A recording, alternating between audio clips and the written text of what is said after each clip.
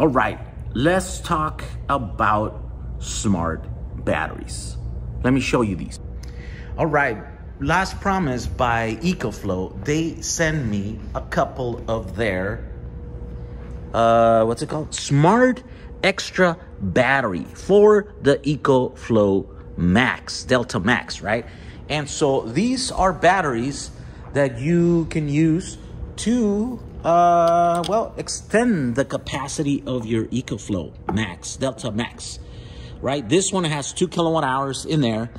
And by adding these ones, you add a further, an extra two kilowatt hours and another two kilowatt. So this is four, this is a total of six kilowatt hours of capacity, right? I was hoping that they would have more things in here, but they don't. This is literally just a screen to let you know what's going on and then an on and off button uh, and then that's it. A big connector that goes from the uh, battery to the Delta Max, right? And so that's how you connect them. But let's talk about the smartness, right? Because what am I talking about? All right. So what do I mean by a smart battery? Look, I've been working with batteries for a long time, and let's just pretend. Actually, let's not pretend. This is an actual battery here.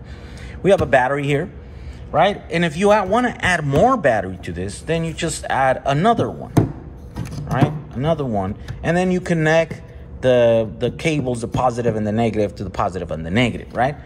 But this way of connecting a battery is kind of a dumb way to do it, right? It's just like there's no smarts in it.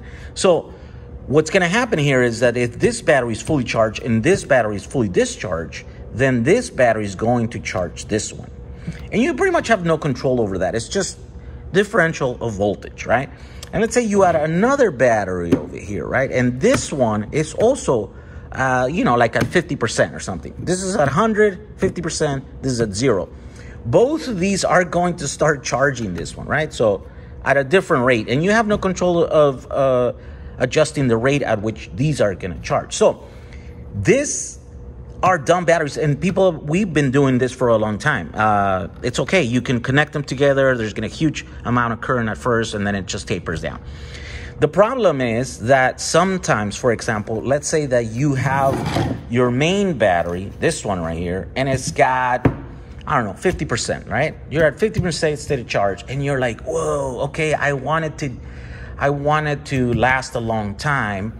I'm gonna add this secondary battery that's got, you know, 20%.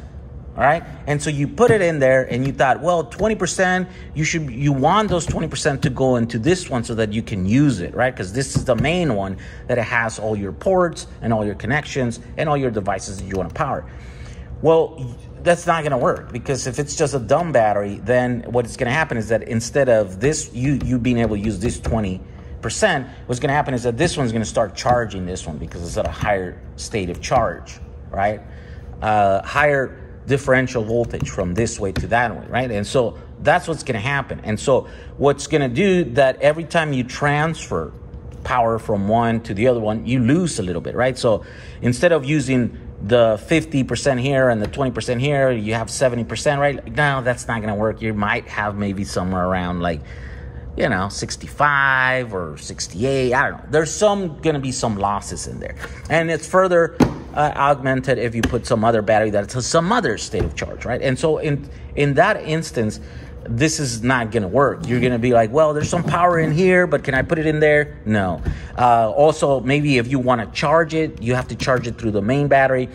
Uh, do you want all of them to go up at the same time, or should you concentrate and prioritize the main one? And then once that one's charged, then you can charge these other ones, right? These are all things that you require smarts to do, right? Um, also, for safety reasons, sometimes they will have like a BMS system in here, each separate one. And so, whenever that is at zero state of charge, then it would turn itself off.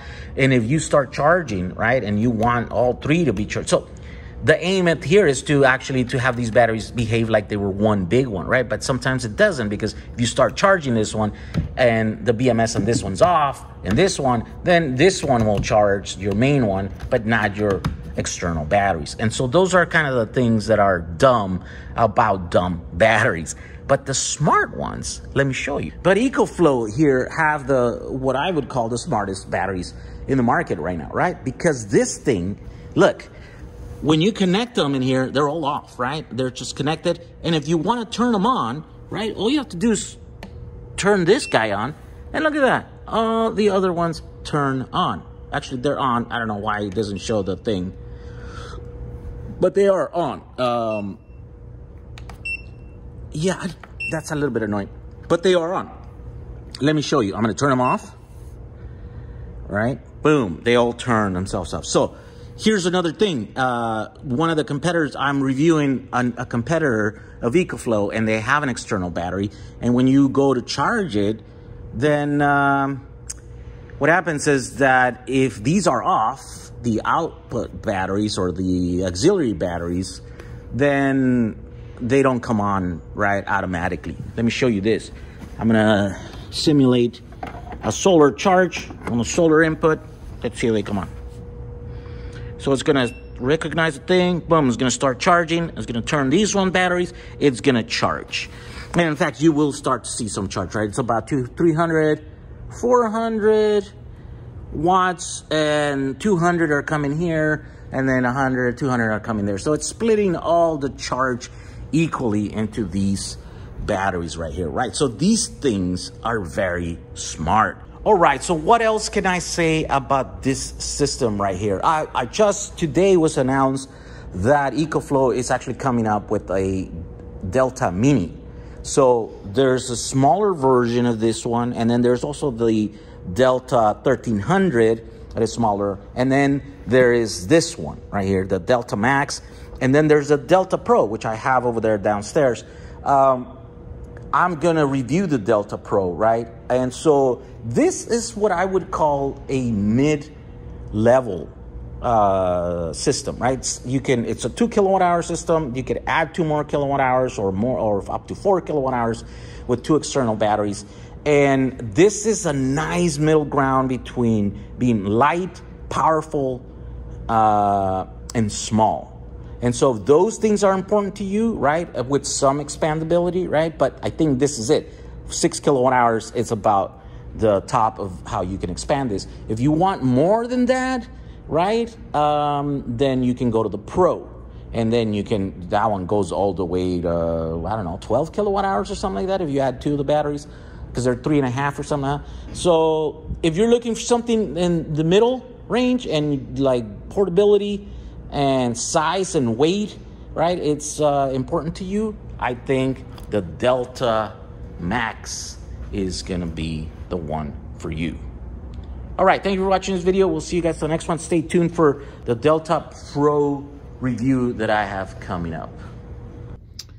Okay, I just gotta say something. The ability to do this and then Look at that. Right? The ability to do that, it's a game changer. It's a game changer. All the other guys, you gotta pick it up. Uh, you gotta carry it. Uh, right? Uh. So, which one will you choose?